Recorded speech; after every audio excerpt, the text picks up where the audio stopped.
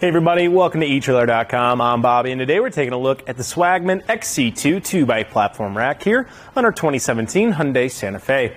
So this can be a pretty nice way, guys, of getting two of your bikes to wherever your destination might be taking you. Now, what's great about this guy, not going to be breaking the bank, just give you a way of actually getting your bikes to that destination.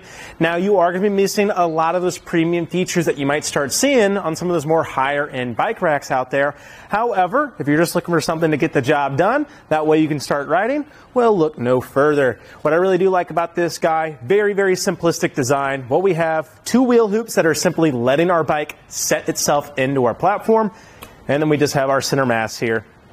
That's going to be securing our bike by giving us a little bit of down pressure there on our frame. Now, to that end, not going to be good for your carbon frame bikes because we're primarily getting compression here on our bike to actually hold it in place, and that can end up wearing down and deteriorating your carbon frames. So that's probably the biggest caveat with this guy. And to that end as well, if you do have any women's bikes, step through bikes, or kids' bikes out there that don't have a great horizontal bar, you might be in a little bit of issue there. And at that point, you're going to have to look at something like a bike adapter bar to give you that horizontal frame that you're looking for. But otherwise, otherwise, that's pretty much the biggest failings that the XC2 has in my mind. That and the fact that it doesn't come with any kind of security measures. But we'll kind of break that down later. As you can see, as we talked about before, we do have our wheel hoops here. Now, these are pretty easily adjustable, which is great. Makes it a very, very versatile rack, which I like as well. All you got to do, back that off. It can be helpful to lubricate this. This guy's been in the shop for a while. You can see a little deterioration on there. And if you want to prevent that, just a little bit of lubrication on these brackets as you go to slide them can be great. But I wouldn't go too crazy as we still need that compression to hold it in place, right? But really, really easy to get those knobs to work, which is excellent. Now we do have two separate arms here on our center mass, making or allowing us to account for our different size bikes out there. So of course that can be a little dependent on what you got going at home, but I love that we have the ability to get almost any bike on here, which is great, albeit we do have all those caveats to kind of keep in mind. Now, before we get the bike off, let's go ahead and see how it's interacting here on our Santa Fe from the very back.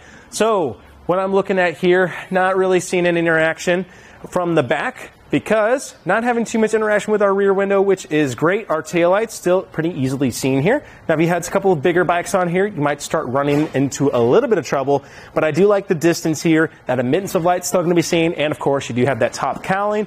Now, to that end, are you losing visibility in that backup camera? Yeah, and that's something that's going to happen with almost any carrier throughout there. Um, but as you're going to see later on, you have a couple of ways of circumventing that if you do need. Now, before we get the bike off of here, again, we do have that 35 pound weight capacity rating, making it awesome for most of the bikes out there. Now, if you start getting your heavier bikes, I would start looking at some of our other platform racks here at eTrailer.com. And if you do just have a little bit of a more expensive bike, bikes that you want to take care of just a little bit more, this might not be the, the right bike rack for you. Now, does it get the job done? Yes, but you can see still just a little bit of movement here with our carrier. Is it going to do the job? Yes. But in my mind, if you had a little bit nicer bike, I might look at it a little bit of a better, little bit of a better carrier. But I digress. To take this off, all we have to do, press in on that lever. That's going to allow me to take my arms off. Now I can simply grab my bike, walk it off, and we're all ready to already ready to ride. So really, really easy setup for this guy. Of course, since we don't have any straps or anything we have to worry about, all we got to do, make sure our hoops are as set out as we need to be.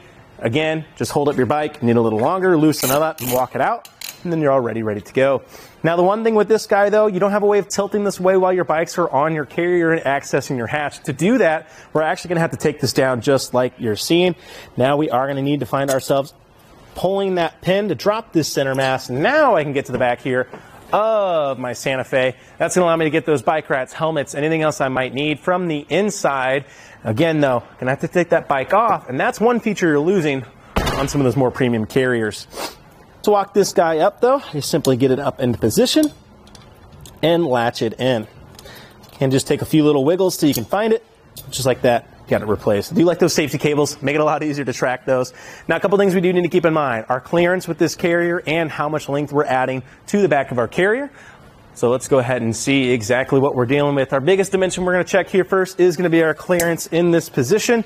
So from the ground to the very end or the underside of our carrier, that's putting us at 19 and 3 eighths there to the underside. Now, one thing I'll also say, if you do have a little bit of a skinnier wheel or wheel width here, then you might have a little bit of issue with your bike hanging down just a little bit more. So if you do find yourself with a little bit of a or your bike hanging a little lower, make sure you're getting that measurement as well. And if you do find yourself approaching any kind of steep inclines, maybe take it nice and slow, checking that before we do approach it, and then we have a little interaction. But again, we are so well up and out of the way because of the shank. I don't think any of us are going to have too much trouble.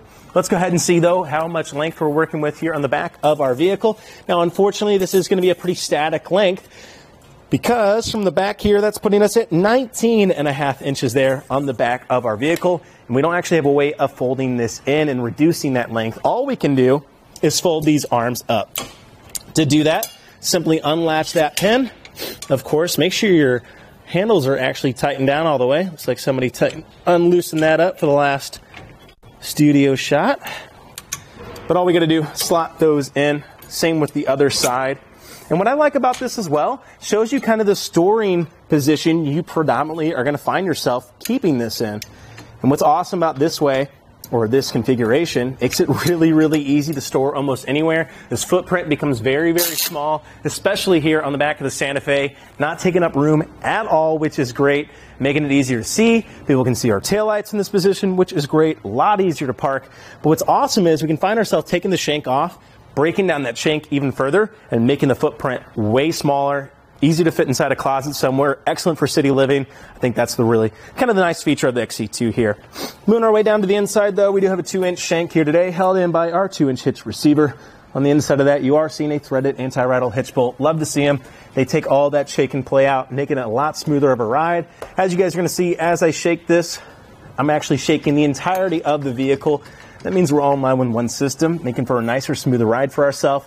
Really do love to see that.